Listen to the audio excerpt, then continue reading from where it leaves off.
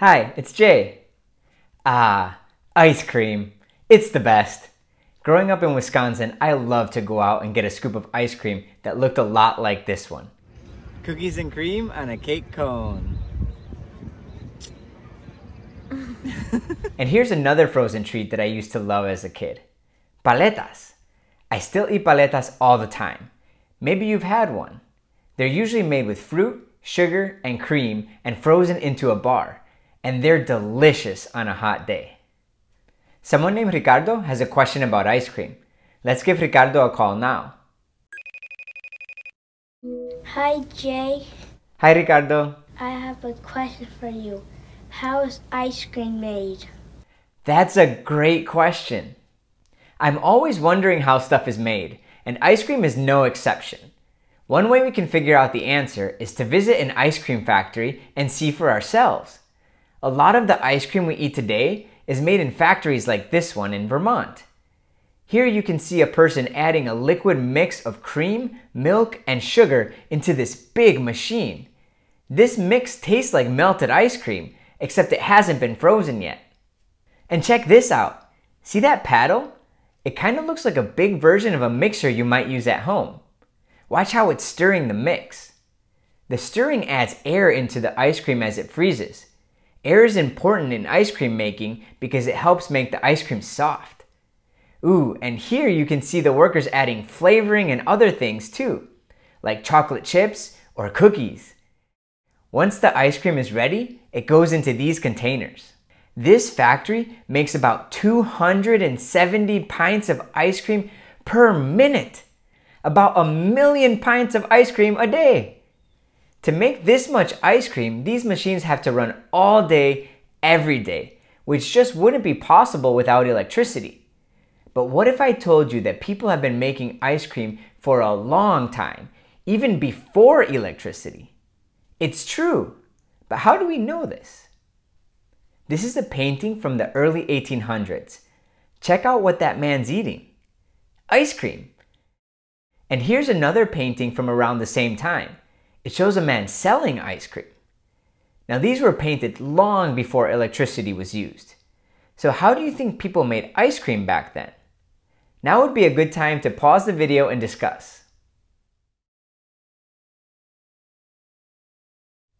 Okay, are you ready? This is such an interesting question. Let's think about it together. Remember the ice cream factory we saw? There was a big machine that stirred and froze the ice cream mix. So to make ice cream, you have to do two things stir and freeze. Okay, so that first part, stirring. No problem. People can stir ice cream mix without electricity. Sure, your arm might get tired, but you could definitely do it. But then there's freezing. How did people freeze things without electricity? Well, they used ice. One of the ways people got ice back then was to cut it from frozen lakes and rivers during the winter. And to keep the ice frozen, they had to store it in one of these. This little building is called an ice house. If you looked inside, you would see piles of ice covered with a thick layer of straw, which helped it stay frozen all year without electricity. People used this kind of ice to make an early version of ice cream they would fill something like a jar with different tasty ingredients. Maybe milk and sugar, maybe juice and sugar. Then they would put this jar into a container filled with ice and salt. After a while, the yummy mixture inside the jars would freeze, turning into slushies or ice cream. Around the world, people found creative ways of using ice to make different kinds of frozen treats. Like in Italy, where this invention let people mix juice and sugar in a barrel full of ice and salt until it became a smooth and colorful treat called sorbet. Or in India, where metal molds filled with milk, sugar, spices, and nuts created a delicious frozen bar called kulfi. These cold treats took a lot of time and work to make. But by the middle of the 1800s, people found new ways to make a lot of ice cream so that a lot of people could enjoy it. For example, in Pennsylvania, a milkman named Jacob Fussell built the world's first ice cream factory. Now remember, this was before electricity was available. So when Fussell built his factory, he made sure to also build an ice house And he put it right next to a source of ice, a creek that froze every winter. Fussell didn't just use his ice to make ice cream, he also used it to ship ice cream. Packing train cars with ice and straw, his containers of vanilla, chocolate, and strawberry traveled to cities across America without melting, even during the summer.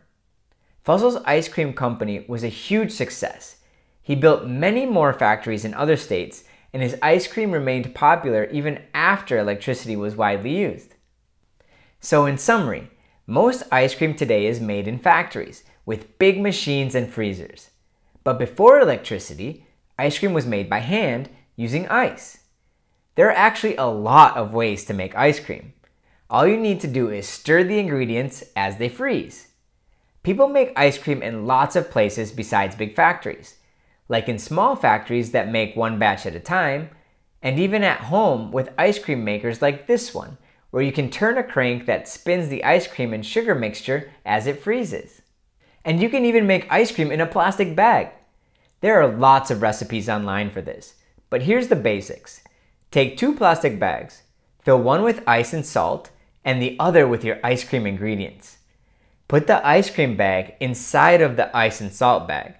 Make sure to close them both securely and shake. In about 10 minutes, you should have ice cream. And if you make cookies and cream, save some for me. That's all for this week's question. Thanks, Ricardo, for asking it. Now, we'll be back with a new episode in a couple of weeks. But in the meantime, here are some older questions from the question jar. You can vote on which one you think we should send out next week. You can choose from How is money made? Are unicorns real? Or Has a shooting star ever landed on someone? So submit your vote when the video's over. We want to hear from all of you watching. There are mysteries all around us. Stay curious and see you next week.